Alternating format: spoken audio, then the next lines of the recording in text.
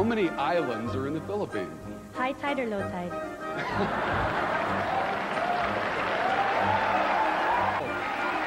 well, with high tide, we have 7,107, and then low tide, we have 7,108.